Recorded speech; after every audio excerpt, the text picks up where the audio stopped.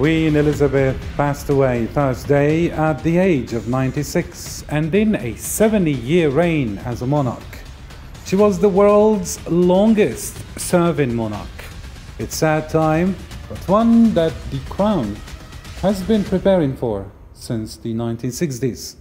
The plan for what to do after Elizabeth's death is called Operation London Bridge, and the steps that will be taken now that the Queen has died are strictly controlled. UK is now preparing for a new era after Queen's death. King Charles III will return to London and address the nation on Friday afternoon. The country now enters a mourning period that continues until after her funeral. This is all 24 News special coverage.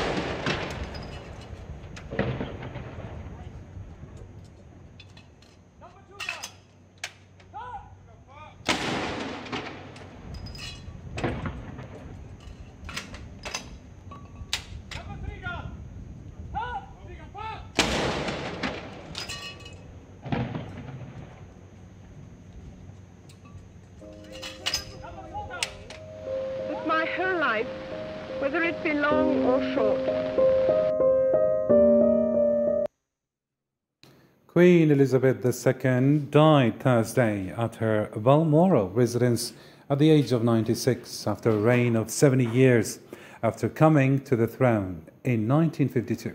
Queen Elizabeth led the longest reign in British history, marked by her strong sense of duty and her determination to dedicate her life to the throne and her people the royal family issued a statement on behalf of the new king, who will be officially called King Charles III.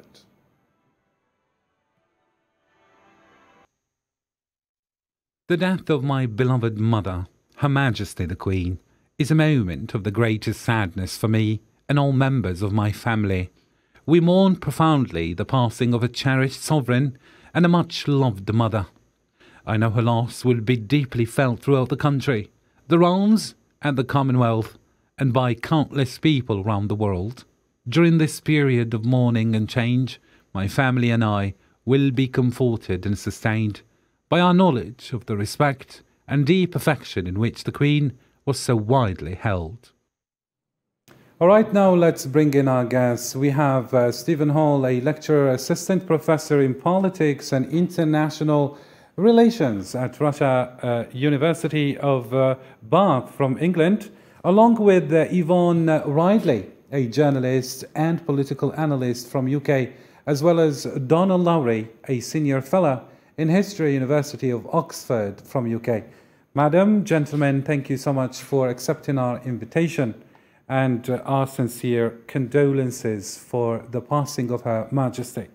Let me start with you, uh, Mrs. Yvonne, since you have been a former correspondent at uh, the Royal uh, Palace. How was the news of her passing accepted, let's say, in England and to you, to your person? Well, although she was 96, um, her death, when it came, was completely unexpected. Just 48 hours earlier, we'd seen pictures of her um, accepting the new British Prime Minister, Liz Truss, and the Queen looked in remarkable health. She was uh, beaming and and uh, she looked in a very happy state. So. Mm-hmm. 48 hours on to discover that she had died came as a great shock to many people. Mm-hmm. Even the um, elements of Britain that uh, are not that uh, pro monarchy were shocked because this is a, a, woman who has been in our homes uh, through the medium of television. She's been very much part of our lives. Uh, for most of our lifetimes. I mean, I uh, she was queen when I was born, and many of us have never known um, anyone else as, as a monarch. So it has come as a shock. And because she ruled with um, a grace and dignity rarely seen in other rulers, she didn't appear to have an enemy uh, or anyone who would celebrate her passing, even those who might be deemed as um, being Republican or anti Elizabethan. Uh, certainly didn't show it. Uh, the Russian ruler Vladimir Putin uh, sent his condolences. Uh, the leader of the Irish party, Sinn Féin, um, expressed very respectful, kind words. This was a, a, woman who, as I say, seemed to have no enemies and could reach out to a diverse group um, of people. And so it's not surprising that her passing has been um, mm-hmm. really felt and impacted on by ordinary people in Britain today. Mm-hmm. Very nice indeed. And uh, Mr. Donald uh, how about yourself? How did you find the news, and how can you portray, I mean, the images of the gathering uh, of the people who came by masses and by great numbers to pay tribute? Well, uh, I should uh, mention that I'm Irish by background, so I grew up in a republic um, mm-hmm. with which has had an uneasy relationship at times with Britain. But I've, I've been able. Mm-hmm. Mm-hmm. So it seems that uh, we're having a technical. Itself. And yes, uh, I think okay. people feel it personally as though they'd lost their own grandmother. This is a very widespread feeling. Mm-hmm. It seems that uh, Mr. Donald is having problems with his internet connection. We are going to try to get back to you, Mr. Donald. And uh, here, perhaps, uh, my uh, co host, uh, uh, Melissa Khimilat Noor, with me here in the studio, perhaps can ask more questions to our guest. Yes? Yes, uh, Karim, I wanted to ask since Queen Elizabeth is or was Britain's longest uh, serving monarch, mm -hmm. a constant presence in the lives of all Britons and uh, all, the, all the people around the world.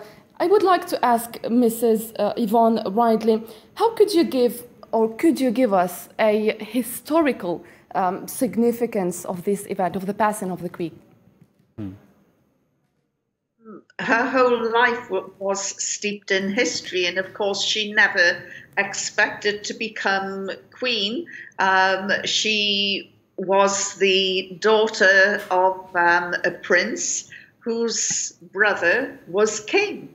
And uh, his uh, future seemed assured until he married an American divorcee and gave up his throne to, to marry this woman, which then propelled his brother, the Queen's father, um, into uh, kingship. And it was only at the age of 10 that she realized that she would end up, um, her destiny was as, as queen. So it was. Uh, it was something that was, you know, thrust on her um, at quite an early age. Um, mm-hmm. But the o- opening of your show showed the um, the gun salutes which mm-hmm. were being fired um, at one o'clock in Britain. And uh, these gun salutes were from various locations around the country to, to mark her death, with a round being fired every 10 seconds, representing 96 um, years of her life. So I would imagine that uh, the the guns will still be sounding long into this uh, this program. Uh, she was the world's longest serving monarch, not only uh, Britain's, and um, as such, Charles III, the former heir to the throne, um, was the longest serving heir to the throne, and he is now the oldest uh, person to become king mm-hmm. um, in the history of uh, Britain. So there are lots of historical records um, that are being broken with the ending of the Elizabethan era and mm-hmm. the arrival of the reign of King Charles. Mm-hmm. Um, very nice know, indeed. Very uh, historic times. Mm-hmm. Very nice indeed. Uh, uh, it seems that uh, Donald Lowry is back with us. And uh, Mr. Donald uh, Lowry, you can resume your answer as we were having uh, some technical problems. Sure, thank you. Mm-hmm. Uh, yes, I just wanted to add there that, uh, of course, those gun salutes continue across the world because the the Queen was uh, Queen not only of Britain, of the United Kingdom, but also of 15 other fully independent countries, but separately. And so mm. this morning, for example, uh, in Canberra, there were also uh, gun salutes and across to Ottawa and Vancouver and other parts, Auckland, Wellington, other parts of the Commonwealth. And of course, because this curious situation of the Queen uh, uh, being simultaneously Queen of these other countries, and of course, uh, King Charles III inherited the monarchy at the moment that she died. So, with her last mm. breath, uh, all the other things that are happening now, the Privy Council meeting and eventually the coronation, these are just public manifestations of it. But the actual moment of the succession was the moment of the Queen's death. Uh, and it's at that moment that the king succeeded, not just in the United Kingdom, but as I say, in Canada, Australia, New Zealand, Jamaica, and a dozen other countries. So mm-hmm. it's quite a, a symbolic moment for her. Uh, the other the, uh, for the, the, for the country and for the Commonwealth. Uh, the other point I think that has just been raised is that uh, is that um, of course it's such a, it's, it's been such a, a reign of changes. Uh, you know, she she inherited the monarchy at a time when Britain was still an imperial power, and mm-hmm. she oversaw the decolonization of large parts of it in the 1950s and 60s. Uh, and uh, this, uh, and of course, enormous changes within Britain itself, culturally and also morally and religiously. Uh, uh, at that time, for example, a few years after her coronation, her sister uh, gave up her um, desire to marry a divorce group captain because at that time the monarch could not be even seen together in royal gatherings with divorced people. And now, of course, her own children have been divorced. So uh, the, the changes in the country's religious composition, although of course it's still uh, she uh, she was head of the or governor of the Church of England, uh, sort of uh, an honorary position really, uh, and of course King Charles is succeeding to that position. So she managed to maintain a stability through a time of enormous change, and this of course is something that has marked out the, her reign particularly. Mm-hmm. And so, yes, go ahead, uh, Melissa Sir uh, Donald Lowry, you say that uh, Queen Elizabeth was a witness of a change in um, history. The most recent survey uh, put 60% for keeping the monarchy, uh, while 27% against it, and the rest undecided. You, most of the people have a positive uh, reaction to uh, the Queen Elizabeth II we uh, see a real sense of uh, someone who represented something really special, really positive about being the Queen, uh, the monarchy, and uh, Britain. Over this period of 70 years as monarch, there were numerous changes, as you said, uh, in the United Kingdom uh, on many levels. We're talking about person uh, or personally speaking, uh, with the family, uh, in national matters or even international matters. So many things happened. What would you pick on as perhaps the most or the moment that has marked these uh, 70 years of her reign? Well, for me personally, I think, uh, although there are many such moments, but just uh, uh um, uh, immediately, the, the moment for me was uh, when she visited Ireland in 2011. Mm-hmm. Uh, this was the first visit to Ireland by a, a British monarch since in, in, a century, since 1911. And of course, you know, she came at a time when the peace process in Northern Ireland was underway. she also had her own direct connections in the in, and tragic ones in the sense that her own cousin, Lord Mountbatten of, um, of Burma, had been murdered by the IRA in 1979, and uh, this touched her deeply, of course, and touched the family deeply.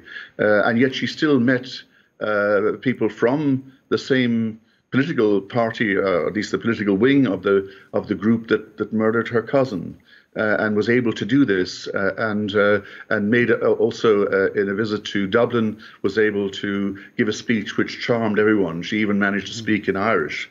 So I think I say there are many moments.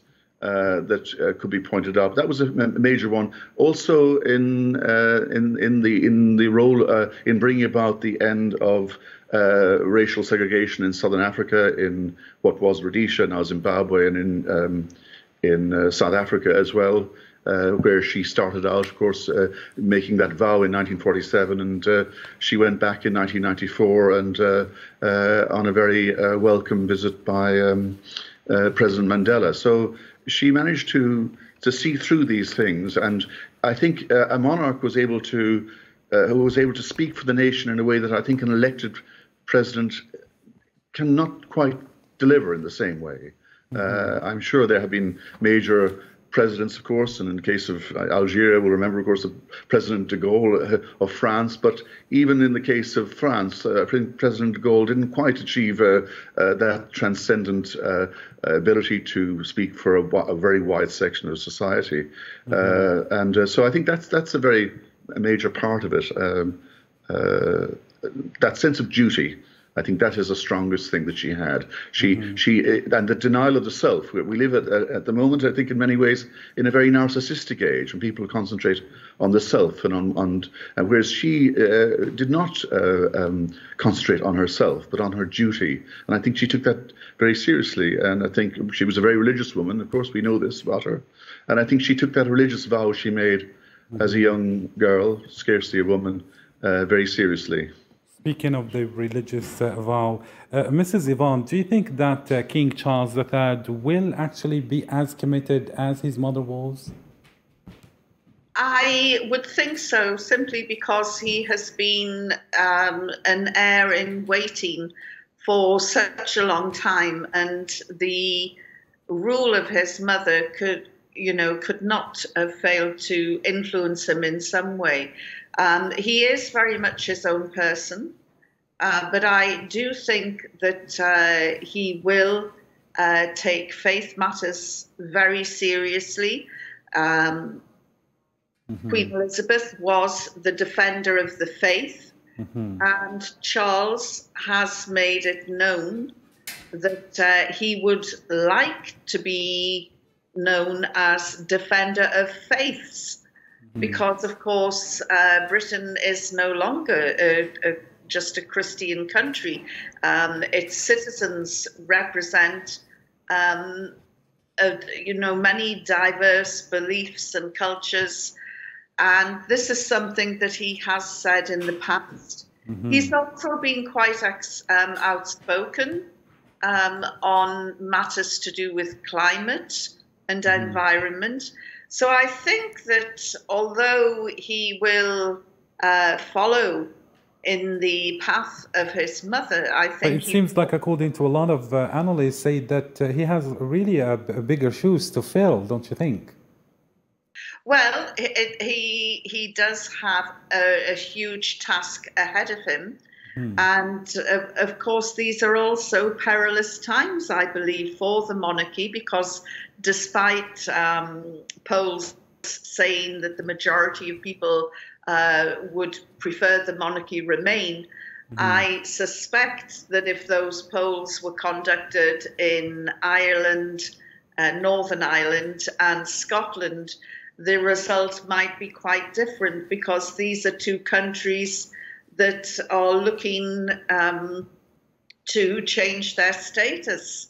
Uh, there's quite a move in Scotland um, for another independence referendum, and next October has been earmarked.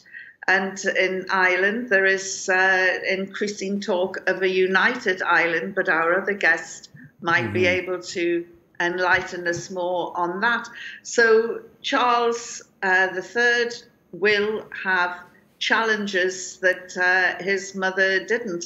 As I say, we've seen the end of the Elizabethan era, and this will, the next few weeks will be a time of reflection where people will be questioning, you know, do we need a monarchy in the 21st century?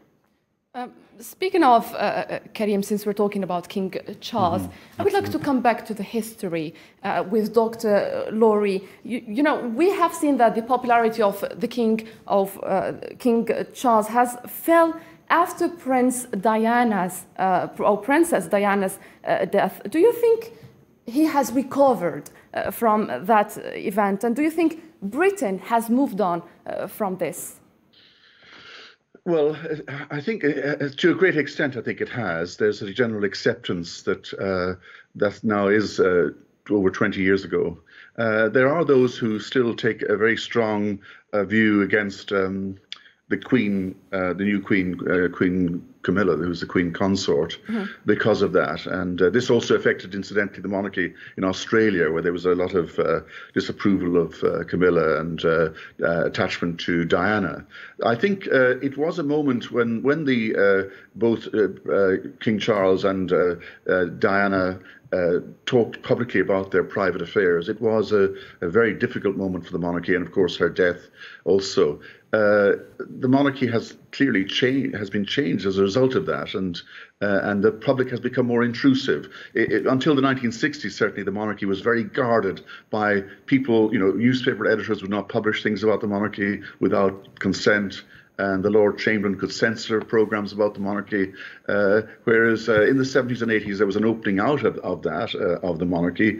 And uh, but of course, the problem there is a problem about uh, how far you should uh, let light in on mystery. As a, a, constitutional writer in the 19th century, Walter Bagehot, said, you know, you shouldn't let light light in on magic. You know, and in a sense, that's the problem for the monarchy. That balance between being close to the public and yet uh, and like the public in some respects. Of course, he's a man and a, he's the head of a family, just like anyone else or many other people. But at the same time, in some way different and representing some time-honored historical continuity. So, and again, as has been pointed out by Yvonne, uh, you know, the, the, balancing between accepting uh, Britain as a multicultural society and being a unifying figure for, for, for that new society in a sense, but also representing continuity, uh, like those um, uh, red-coated um, uh, beefeater regiment people you can see uh, there on the screen. somehow, it must be both ancient and modern at the same time, and mm-hmm. that's a difficult balancing act. And of course, a lot depends on advice as well, because he can only act on advice. Of course, this is the thing about monarchy. He has to be advised by his ministers to a great extent. He mm-hmm. can't do anything on his own on his own initiative. Mm-hmm. And the UK Prime Minister Liz Truss on Thursday paid tribute to Queen Elizabeth II for her extraordinary achievement and Britain's longest reigning monarch. Today, the crown passes as it has done for more than a thousand years, to our new monarch, our new head of state, His Majesty King Charles III. With the King's family, we mourn the loss of his mother, and as we mourn, we must come together as a people to support him, to help him bear the awesome responsibility that he now carries for us all. We offer him our loyalty and devotion, just as his mother devoted so much to so many for so long. And with the passing of the second Elizabethan age, we usher in a new era in the magnificent history of our great country, exactly as Her Majesty would have wished, by saying the words, God save the King. And of course, uh, Melissa Noor Khimilat, uh, one might wonder how the monarchy will look like under uh, the reign of Charles. Do you have any questions to address? Exactly, uh, Karim. Um, mm -hmm. As we have seen, uh, that was uh, the new Prime Minister, the new British Prime Minister. just two days, Liz Truss paid or paid tribute to the Queen who died yesterday at the age of 96, and there she had the end of the second uh, Elizabeth era and attributed to the new king, King uh, Charles. Charles waited most of his adult life uh, for this moment. Yesterday he expressed his, expressed his greatest uh, sadness for the death of his uh, mother. And uh, responsibility yeah and mm. responsibility mm. already started weighing on his shoulder. I would like to ask dr Ridley a question. Do you think that the monarchy is secure under king charles?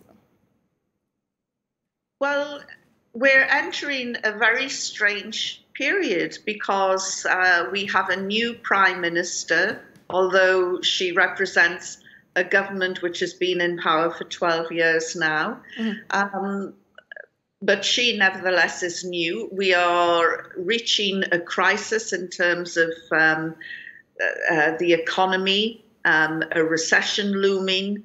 These are very troubled times. And uh, so it will be interesting to see what impact it has on uh, the reign of Charles III. Um, and uh, he will be officially proclaimed at the Accession Council um, 10 o'clock tomorrow morning um, in uh, Saint in the apartments of St James's uh, Palace. So um, although the moment the Queen died, he became king. Um, the accession um, is official uh, tomorrow. And I think that he will have a lot of challenges that um, will be completely new to the monarchy in Britain today because these are troubled times. And of course, the monarchy is uh, not supposed to be a political body.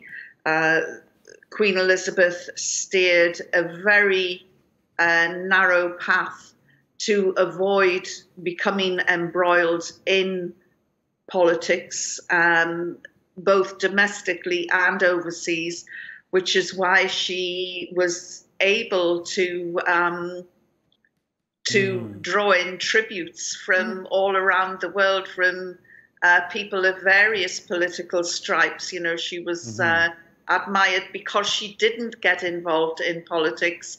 However, uh, there have been several occasions where Prince Charles has been caught briefing behind the scenes. Of course, he's now King Charles. Uh, mm-hmm. Will he? Uh, will he continue this, or will he follow his mother's path? That mm-hmm remains to be seen. Mm-hmm. And here I invite you, ladies and gentlemen, dear audiences and dear guests, to follow some of the leaders of the Commonwealth uh, countries who have uh, reacted to the news, expressing their condolences on Friday on the passing of Her Majesty the Queen. It is with the deepest of sorrow that we learn today of the passing of Her Majesty Queen Elizabeth II. She was our Queen for almost half of Canada's existence. And she had an obvious, deep, and abiding love and affection for Canadians. In a complicated world, her steady grace and resolve brought comfort and strength to us all. Canada is in mourning She was one of my favorite people in the world, and I will miss her so. With the passing of Queen Elizabeth II, an historic reign and a long life devoted to duty, family, faith, and service has come to an end. This is a morning of sadness for the world, for the Commonwealth, and all Australians. It is a day of profound sadness and grief for the royal family who have lost a beloved mother, grandmother, and great grandmother, the person who for so long was their greatest inner strength. Today marks the end of an era, the close of the second Elizabethan age.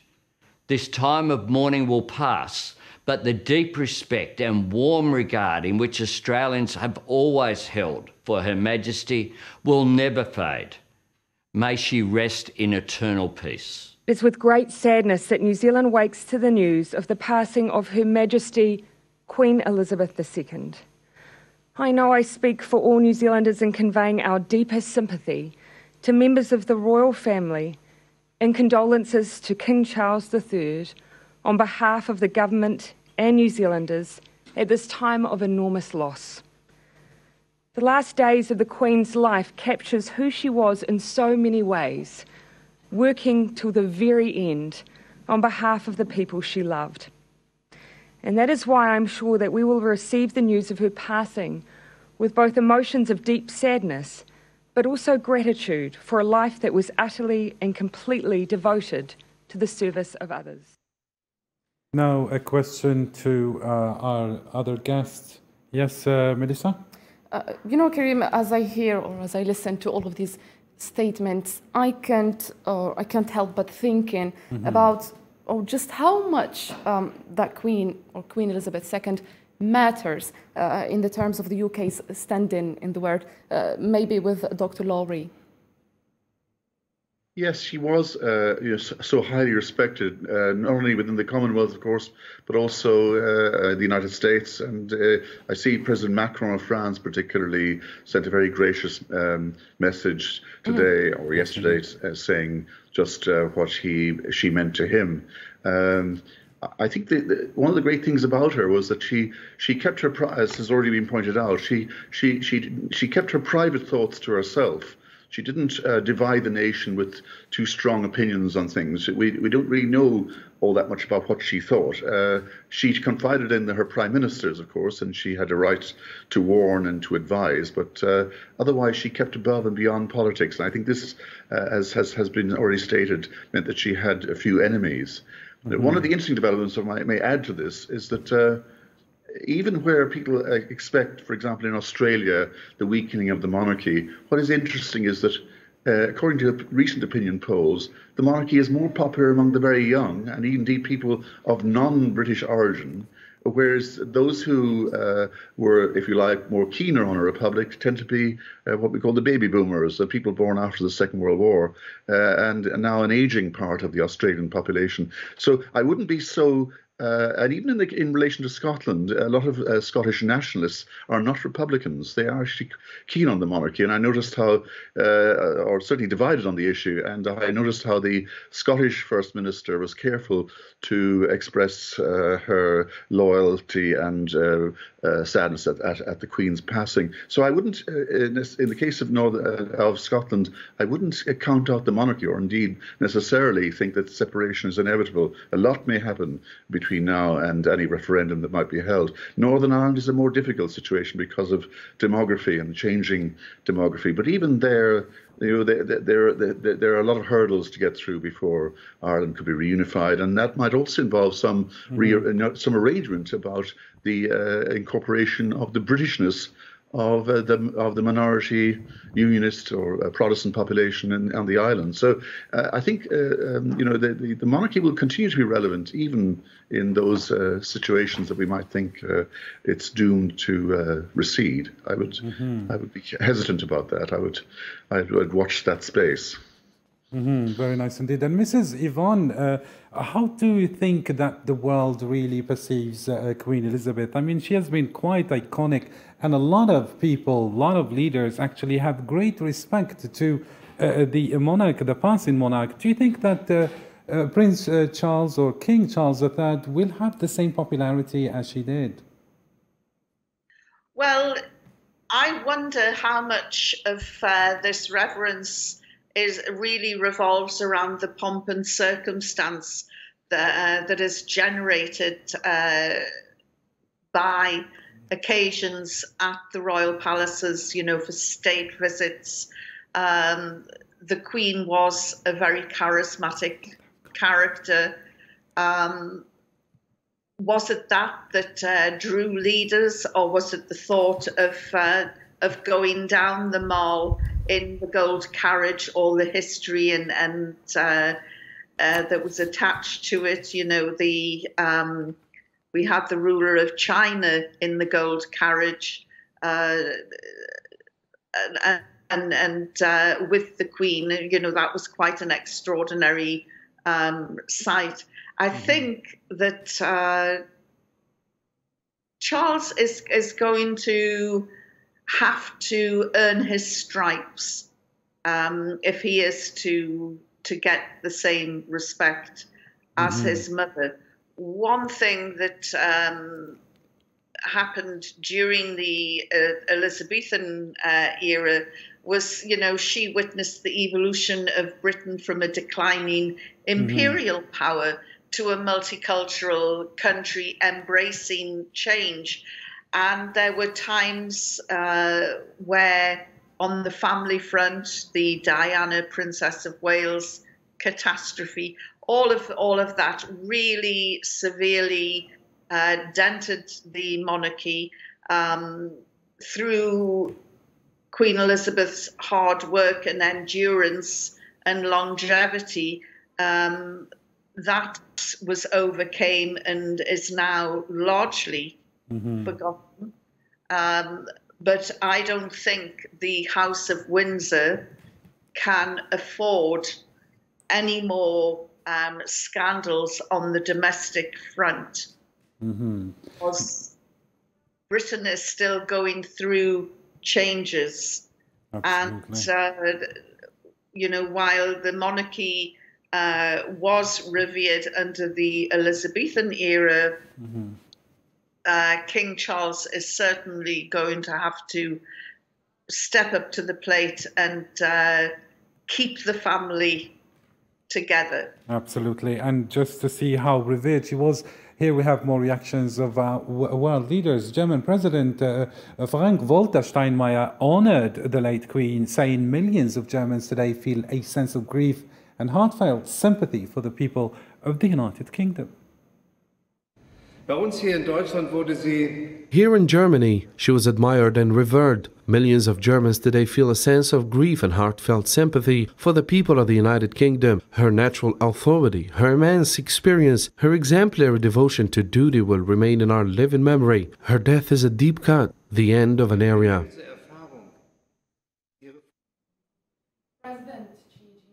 Of China also expressed his sincere sympathies to the British government and people in a statement released through state media. The statement said her passing is a great loss to the British people.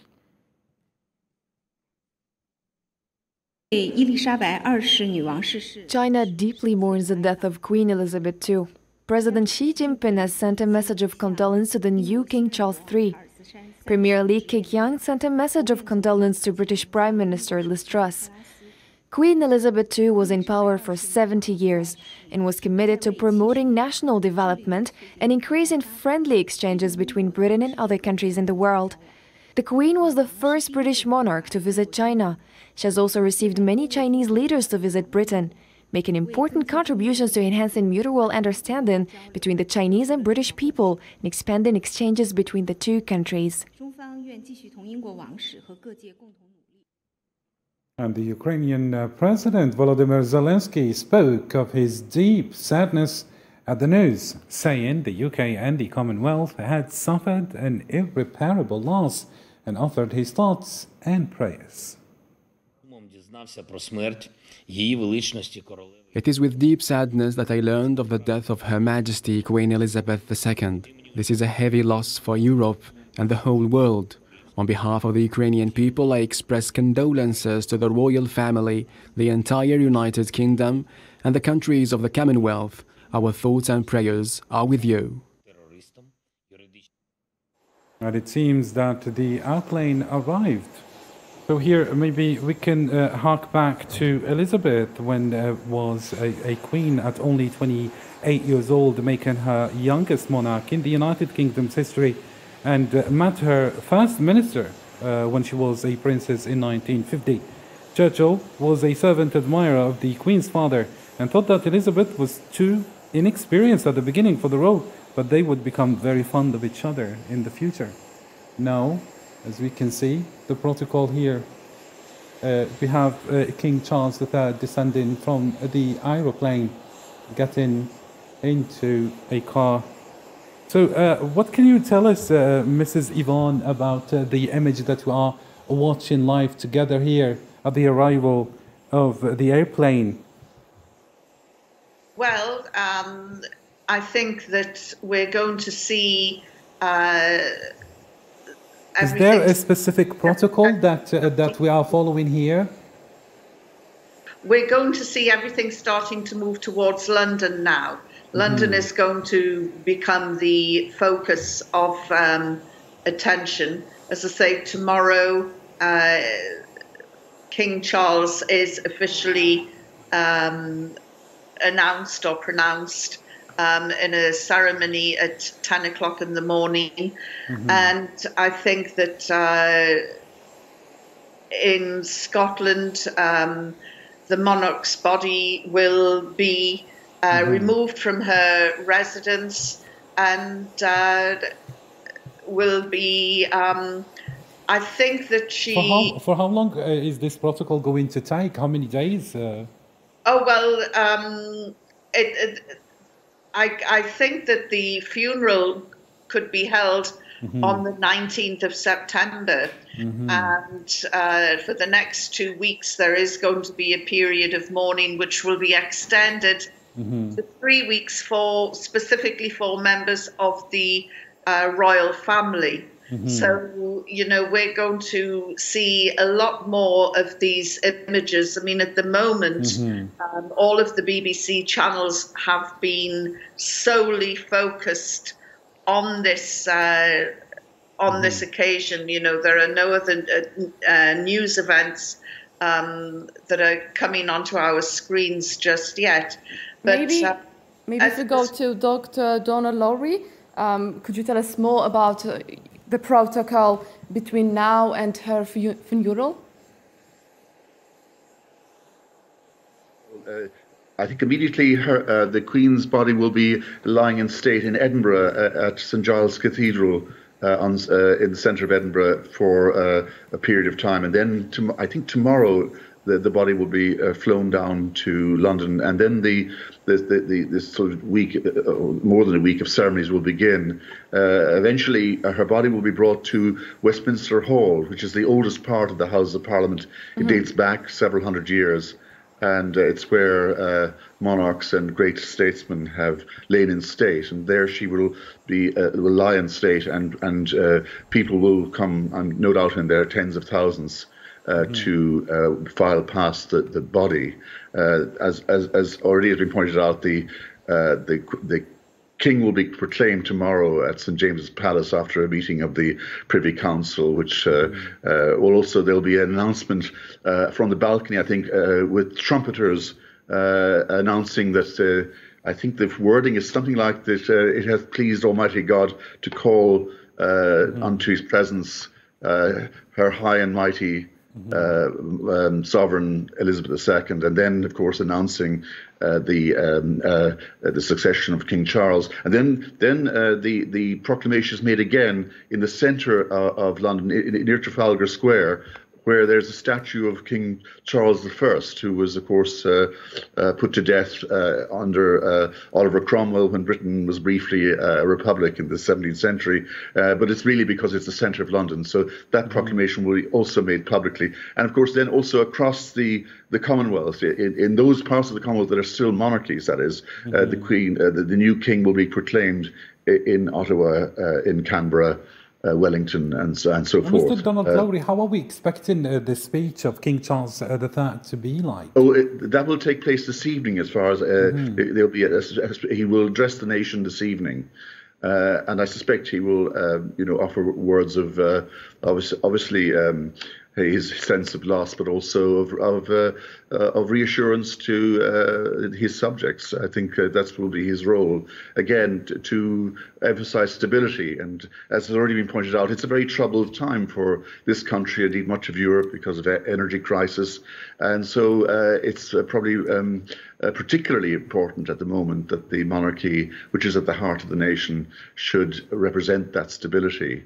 Mm-hmm. Um, Very nice. Uh, uh, and, and, then, of course, uh, the, the, the, these days of of of, of uh, mourning will will culminate, uh, at least the initial part, in the uh, state funeral from Westminster Abbey, and then the body will be taken from Westminster Abbey after a religious service to Windsor, where she will lie. next to ultimately next to um, her near her father and also near um, her husband the late Prince Philip, uh, who uh, died um, so so maybe, recently. Maybe for more insights now about the Queen's life, uh, we shall follow this portrait that Nabil Khazini compiled for us. The crowning achievement of Britain's Queen Elizabeth was to maintain the popularity of the monarchy across decades of seismic political, social and cultural change that threatened to make it an anachronism. I declare before you all that my whole life, whether it be long or short, shall be devoted to your service and to the service of our great imperial family to which we all belong. Elizabeth helped steer the institution into a modern world, stripping away court ritual and making it somewhat more open and accessible, all in the glare of an increasingly intrusive and often hostile media. While the nation she reigned over sometimes struggled to find its place in a new world order, and her own family often fell foul of public expectations, the Queen herself remained a symbol of stability. She also tried to transcend class barriers and earned the grudging respect of even hardened Republicans. To much of the world, she was the personification of Britain, yet she remained something as an enigma, as an individual, never giving an interview and rarely expressing emotion or offering a personal opinion in public. A woman recognized by millions but known by hardly anyone. At first, Elizabeth relied heavily on her father's old circle of advisors, but gradually she brought in some more career diplomats and business executives to the royal court as she and her husband Philip sought to modernize the monarchy.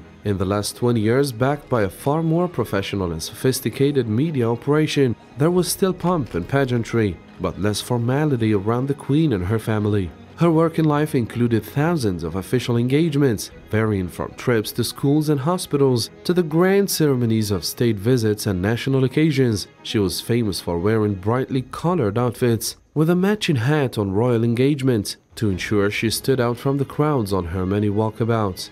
She traveled further than any previous monarch, overtaking more than 250 overseas visits to well over 100 countries. She was renowned for her stamina and began cutting back on a once hectic timetable of foreign tours only as she moved into her 80s. Even in her 90s, she regularly carried out engagements. On one such event, at the age of 93, she told officials she was still capable of planting a tree before shoveling the soil into a hole, and it was another two years after that before she needed to use a walking stick in public. So back to you, Mrs. Yvonne Lydry. Queen Elizabeth II, one of the longest ruling monarchs in the whole world, left us at the age of 96, but leaving behind her a history full of political, social, and cultural change in the British monarchy that helped steer the institution into the modern world. What more can you tell us about that particular point? Well, I think that the Elizabethan era will be reflected upon very kindly by historians. And as I say, we are now entering a, a totally troubled time with um, a recession looming, energy uh, costs and prices uh, causing great alarm, a war in, in Europe, um, in Ukraine. Uh, these are incredibly troubled times, very challenging times, and uh, Britain is, um, you know, has a new prime minister. It now has a new monarch. So uh, both of them are going to be scrutinized very closely over the next few weeks and months to see how they perform. And I think that uh, Prince Charles, in particular, will find it extremely challenging um, because he will be expected not to comment publicly. You know, his mother never gave, as far as I'm aware, a single media interview. She never sat down uh, with journalists and gave them briefings or private briefings, which Prince, uh, well, King King Charles has been uh, known to do in in the past. So will he follow his mother closely in as much as he will ditch all um, hands-on uh, mm-hmm. initiations with the media, or or will he uh, enter into a new style of um, royalty? In his dealings with the media. It it is going to be very interesting to watch, mm-hmm. and uh, he's he's got quite a, a tough job ahead of him. Um, you know the the uh, Queen was thrust into uh, power at a very unexpected uh, time in her life, uh, whereas uh, King Charles has been waiting in the sidelines longer than any other heir to the throne, and he is the oldest new king mm-hmm. of mm-hmm. England. Very nice indeed. And in her reigning era, UK Queen Elizabeth held diverse visits to the Middle East within uh, different programs. What can you tell us about uh, these visits and how significant and their importance, uh, Mr. O'Donnell? Well, of course, Britain uh, retains, uh, well, throughout her reign, retains strong links to the Middle East, uh, particularly uh, in the Gulf. And uh, yes, uh, about the visit in the Middle East in particular, because UK did have a great importance actually in the shaping of the Middle East, and perhaps well, the relationship of the people there, maybe with the monarchy, is not really as, let's say, warm as one would expect. But still, a lot of people held this Uh, uh, admiration and, and affection toward the Queen. Yes, I, I, well, as far as as I'm aware, it seems that people distinguish between actions of British governments in the past. Indeed, France, we we know, of course, Britain and France divided the Middle East after the First mm. World War, and these have had enormous results, uh, um, implications for today, and, and, of course also in the case of Israel and the Balfour Declaration and so forth. But I think people do often distinguish between uh, actions of past governments and the monarch. Mm. Also, of course, those parts of the, uh, especially of the Gulf states that are themselves monarchs monarchies, uh, there is, of course, a close relationship between uh, the, the uh, there has been between the monarchy and and the uh, rulers of the Gulf states. And I might add here that one of the conventions that survives mm-hmm. Uh, into the present time is that uh, the monarch, British monarchs, address the monarchs of other countries as either my good brother or my sister.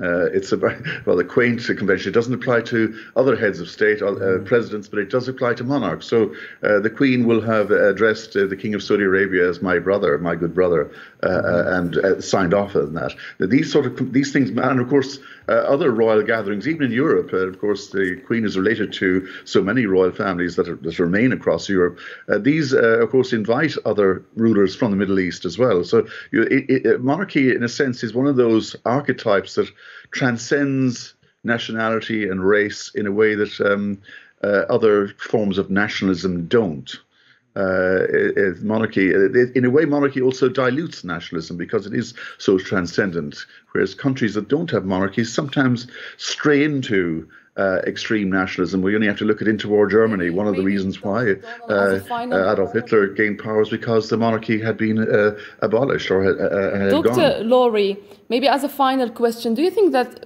this relationship will change now that the Queen is dead? with the Middle East? Or, yes, or with the Middle East. More generally, uh, I don't I don't think so, because again, Charles himself has uh, long had a strong, um, uh, you know, he uh, has advocated uh, respect for Islam. For example, he was very supportive of the Centre for Islamic Studies at in Oxford, and uh, he is a very tolerant man, and he's very interested in religions generally and in in protecting religions. So I think that will be a continuing bond between him and and uh, uh, these states. Of course, there's also a strategic relationship, of course, which will also be there. I mean, very um, interesting military indeed, security Mr. relationships. Uh, Donald uh, Rowley and uh, Mrs. Uh, Yvonne Ridley. Thank you so much for these thorough analysis and joining us in this special coverage. Of course, the special coverage continues right after the news bulletin that's coming right after. Thank you so much, dear viewers. That's the end for now.